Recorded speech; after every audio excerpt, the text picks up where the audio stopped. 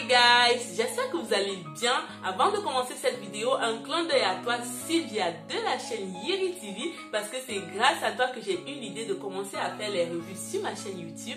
Un clin d'œil aussi à toi Paola Audrey parce que c'est grâce à ta chaîne hein, que j'ai découvert ce court métrage.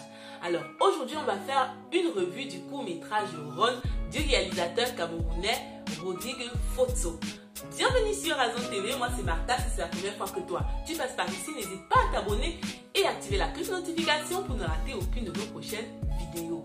Ce film est disponible en version free sur YouTube, il te suffit de taper Ron et tu auras l'intégralité du film. Quant à moi, je te laisse avec cet extrait et on se retrouve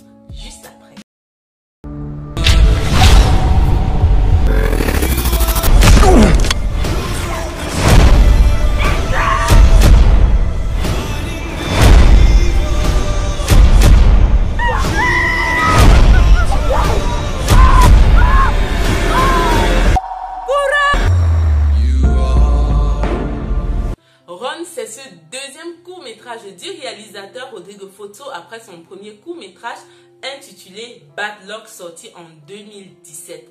Ce film raconte en 40 minutes l'histoire de trois jeunes filles, trois amies qui, après une bonne séance de sport, décident de faire un détour avant de rentrer à la maison. Juste que le hasard voudra que leur chemin croise malheureusement celui de Bobby et de sa bande. Et de là commencera pour les jeunes filles une descente aux enfers, un vrai cauchemar. La première chose qui me frappe quand je regarde Ron, c'est d'abord la qualité de l'image. Franchement, bravo à l'équipe d'Iboga Productions parce que ils ont fait un travail remarquable de ce côté. Même lorsque la scène est tournée en pleine obscurité la nuit, on réussit à garder une image nette. Et ensuite, en fonction de nos goûts cinématographiques, on peut voir Ron comme un film d'action, comme un film dramatique et pourquoi pas un thriller. Moi, personnellement, je le vois comme un thriller. Pourquoi? Parce qu'il y a du suspense de la première à la 40e minute. Le spectateur, le cinéphile est tenu en haleine de la première à la 40e minute. On se demande à chaque fois, mais qu'est-ce qui va se passer? C'est suspense à gogo, c'est tension à gogo. Et pour garder ce côté thriller, le réalisateur à mon goût a tellement joué avec le fond sonore. C'est toujours les Bref, des, des, des, des, musiques qui te permettent de te mettre en haleine, qui permettent tout le temps de te dire mais attends, attends, qu'est-ce qui va se passer? Même si tu étais distrait deux secondes, tu as toujours envie de te demander mais qu'est-ce qui va arriver? Et même lorsque tu pensais qu'une action était concluse, que par exemple un personnage avait, fini de faire ce qu'il avait à faire, tu, te dis mais what? Qu'est-ce qui se passe? À ce niveau-là également, chapeau parce que ça a été bien orchestré. Et je pense que pour bien fondre cet aspect du suspense, de la tension, cet aspect du thriller, euh, le réalisateur a utilisé soit les, les, les, fonds sonores, comme je disais, la musique de fond sonore, mais également la luminosité. Toujours autour des tons gris, des tons euh, un peu sombres, même si le film est tourné à 99%, disons, en journée. Un autre élément qui m'a le plus marqué également, c'est les détails. Ça se voit que le détail en lui-même donne une grosse portée au film. Que ce soit un pied qui écrase une cigarette, une main qui tient une cigarette, un, une main qui allume une cigarette, que ce soit le détail d'une voiture, je sais pas, d'un visage. Et pour cela, le, le réalisateur utilise beaucoup ce que l'on appelle les gros plans.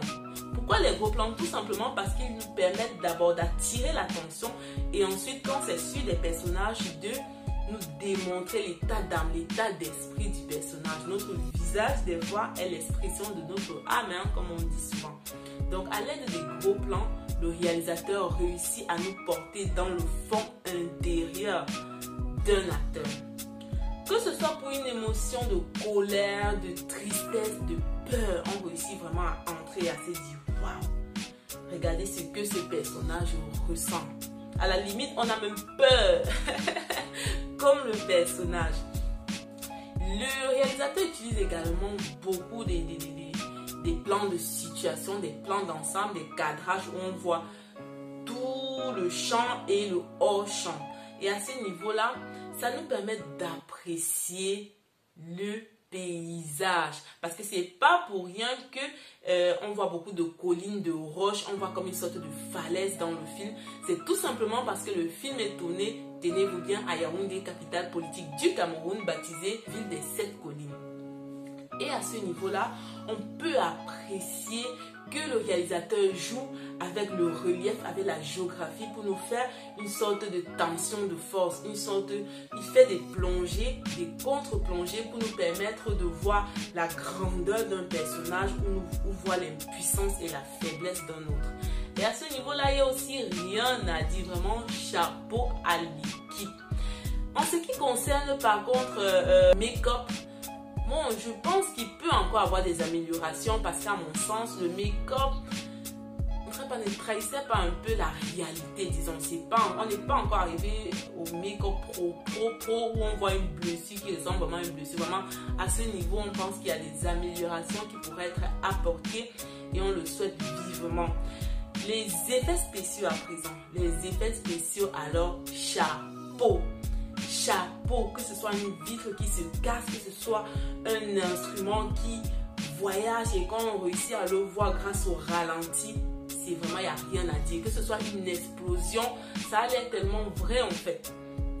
Même si on n'est pas, on n'est pas dupe, hein, on sait que ce sont des, on sait que ce sont des, euh, des effets spéciaux, mais c'est tellement mieux fait, c'est tellement bien fait que d'habitude et, franchement bravo. Maintenant, en ce qui concerne le jeu d'acteur, disons que le casting pour moi a été trop trop intéressant. On a déjà Basinga qui joue le rôle d'Amanda, qu'on peut voir dans La guerre des sexes, hein, une série qui vient de commencer j'espère que je pourrai faire la revue aussi de cette série. On la voit également dans la télé-réalité Elle, disponible sur YouTube. Hein. On a également Aïssatou Ndiayu Aïssatou Diallo qui joue dans les parodies de Takam. Franchement, topissime comme fille. Elle incarne la fragilité, elle incarne la timidité quelque part et elle incarne le rôle de Paola dans le film. On a enfin euh, Marilyn Evengue qui joue également euh, dans, en fait, qu'on retrouve également dans la télé-réalité Elle.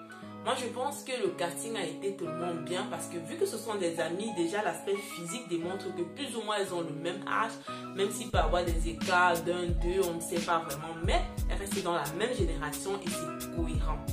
Maintenant, on a le personnage d'Amanda qui est le personnage central, qui doit être un personnage fort, qui doit être un personnage charismatique. Et on le voit même dans le film, elle transpire vraiment le charisme. Hein.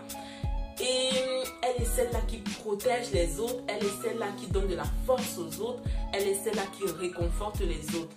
Et franchement, le jeu d'acteur à ce niveau, il n'y a rien à dire.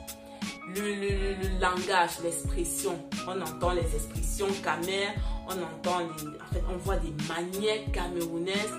Et on se dit, what, ça c'est l'identité du Cameroun, c'est juste formidable, franchement, jeu d'actrice naturel, jeu d'actrice qui euh, reste cohérent par rapport à la réalité camerounaise.